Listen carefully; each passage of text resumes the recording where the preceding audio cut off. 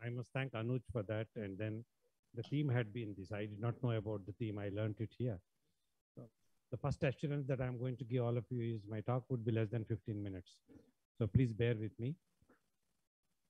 So you know primary health care is very important in all fields of medicine and health. It's prevention, it is treatment, it is multifactorial.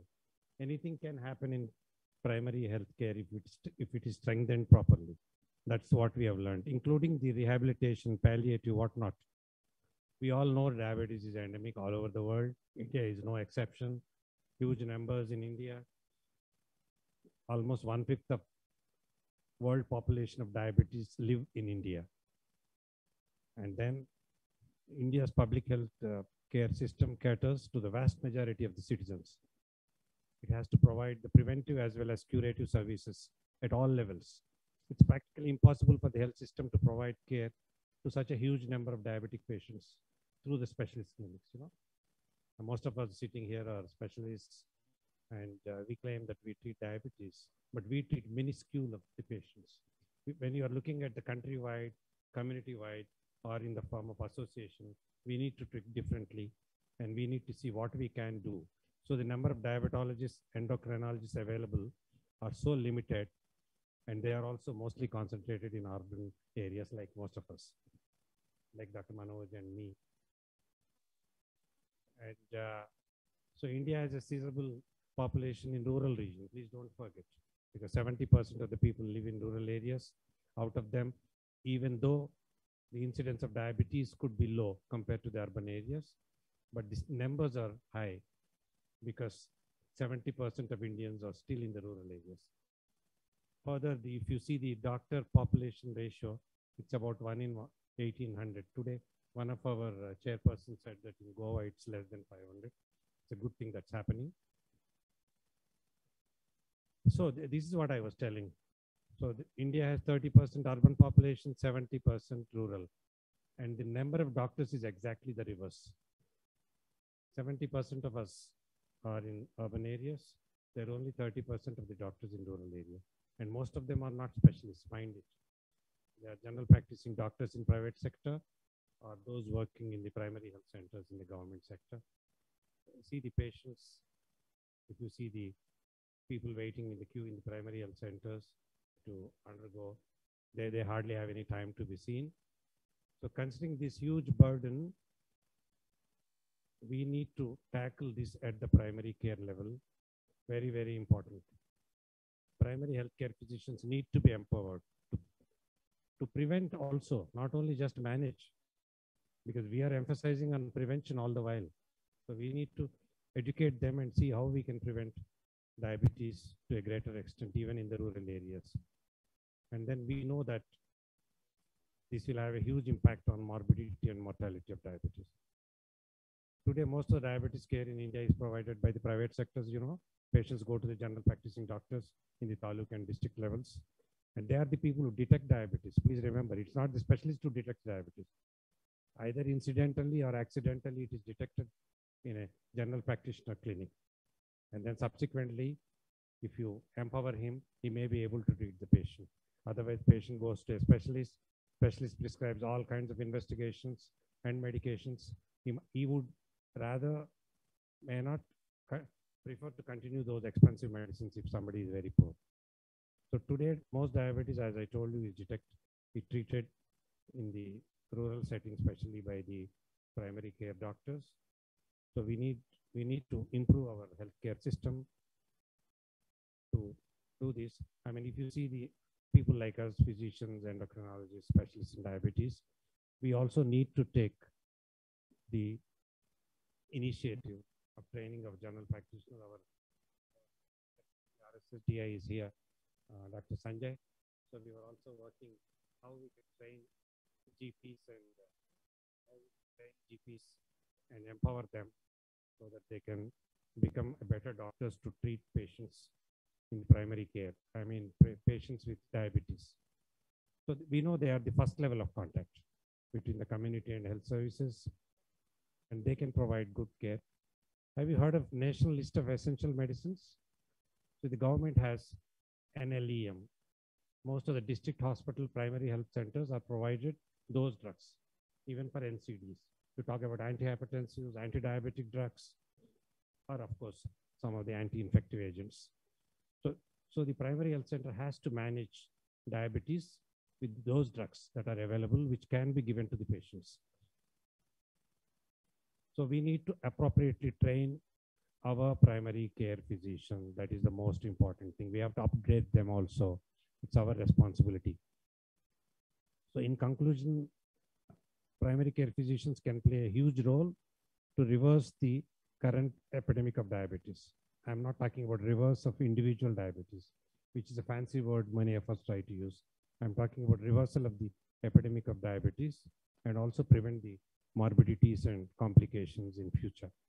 So if you look at the prevention and cure, both are important, but you know, it's always the prevention that needs to be emphasized.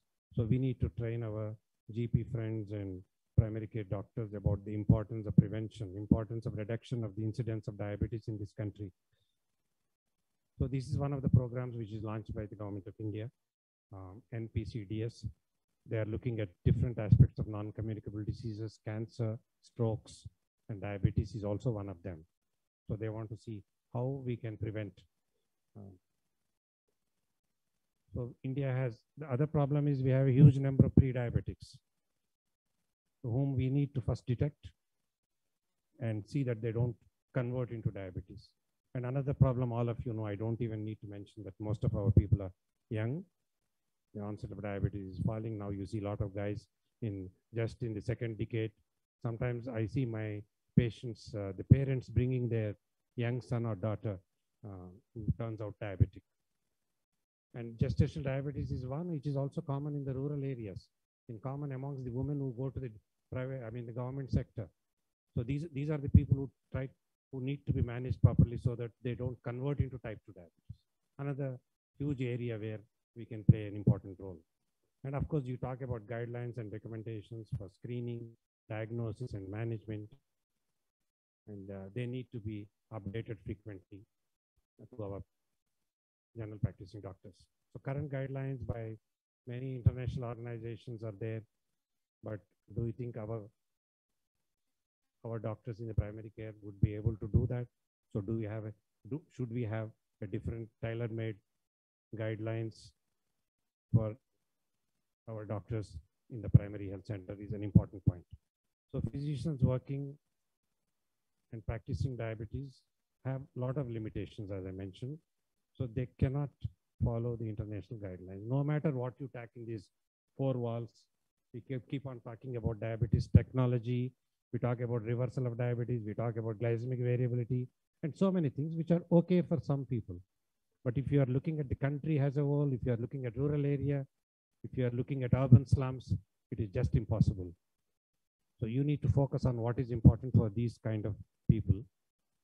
So we should look at easily available, economic, and effective drugs, which can be followed at different level of healthcare center. So what are the, you know all of them, what are those which we can use? So we need, it, it is very simple. So there are two drugs that can be used in primary setting. One is metformin, which is a sensitizer, and use a secretagogue. Only thing is we have to teach our general practicing doctors that they can cause hypoglycemia, start with small dose, increment it slowly, add it only if the metformin fails. First of all, of course, all every patient needs to undergo some lifestyle modification. We keep on topping up lifestyle modification now. We have become lazy enough, we only say LSM, but we, we are not really changing the habits of our patients in terms of the diet and exercise. So it is the metformin that is available in most of the hospitals. It's cheap, it just costs one rupee.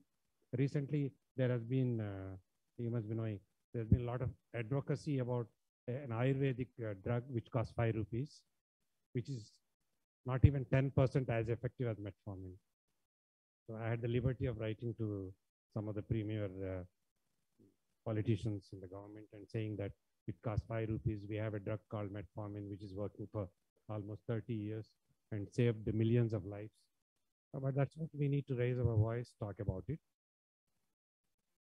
So the oral regime, so most of the times it is metformin alone or metformin with sulfonylurea, small dose, And if both of them fail, if the GP has some confidence and knowledge, he can always start an insulin, a basal insulin, or a pre-mixed insulin. I'm talking about conventional insulin. I'm not talking about analogs. We know conventional insulins, all international guidelines also say they're equally effective, they're cheaper. So we can give one of them. We need to train our doctors again about using pre-mixed insulin or analogs or not analogs, the basal insulin, sometimes NPH works. Something is better than nothing. So we can save the lives of the people, we can prevent complications, we can reduce morbidity, we can increase their lifestyle by taking these simple steps. Our organization, I'm sure, ICP under leadership of Dr. Anuj and others and RSSDI, we are here. We will take it up in a big way because this is important finally, unless we do this. And even, so what are the indications where we ask our general practicing doctors to refer to a specialist clinic? Is that probably type 1 diabetes? Because in fact, if you ask me, we should train our GPs to manage type 1 diabetes to the extent possible, or even follow up at least. But there are conditions like DKA, we need to see how they can manage in severe infection, sepsis, all these cases, they need to be referred to the hospital. So RSSI has come out with good guidelines, but even RSSDI says individualize the management finally. Every patient sitting opposite to you needs to be individualized depending on his age of onset, his complications, his weight, his affordability. Finally, don't forget his economic background is very important. Here it is mentioned cost of diagnosis treatment is always important. Even Americans talk about it. The Americans talk about affordable treatment now to their patients. Because a lot, lot of the African population, Hispanic population can't afford the treatment. They are going around without any medication. They are neglected. So medical diet and exercise are very important, even if they're rural, even if they're poor, because their lifestyle have changed. They're eating a lot of street food, even in taluk areas. They're eating a lot of fat, trans fat, which needs to be addressed if you want to really reduce the complications of not only diabetes, but hypertension, dyslipidemia. Finally, we you don't want to subject them to coronary disease. And uh, so finally, you need to look at individualizing the treatment depending on the things which I have already mentioned ahead of the slide. So conclusion is, let us conduct CME programs even to the doctors who are in the district and taluk headquarters. Tell them the importance of dietary management, physical activity. Then comes the pharmacology. They have very limited drugs to use, but they work in 90% of the patients. Take it from me. So rational prescription is very important. It's important for us also. We need to be rational while managing a diabetic patient. Just because somebody can afford, you can't push them on to uh, all the latest uh, drugs. So it has to be economical, effective, and the drug should be available to the rural patient. And of course, the simple management of monitoring the blood sugars are by providing glucometers. Most of the primary health centers, we have to actually encourage our GP friends to keep a simple glucometer, check the blood glucose very often and manage it. You know how many of them can go for HbA1c. Uh, today, in the year of 2021, if I am talking like this, it's unfortunate, but it is the truth that we all have to believe. And uh, so I, I, just wanted to be very, very brief. Uh, so this is what is happening in most of the rural health centers. People are waiting. See who is checking the blood pressure. It is a health visitor or somebody who is trained to check. But glucometers are available. They are becoming cheaper. Let's hope the strips would be cheaper so that more patients are screened for diabetes, more patients are monitored for diabetes. So let us do something to prevent diabetes, to effectively manage with affordable care. So let us strengthen and empower our primary health care. Um, thank you very much for giving me this opportunity. I think I was trying to be very short and I hope I conveyed the message. Thank you.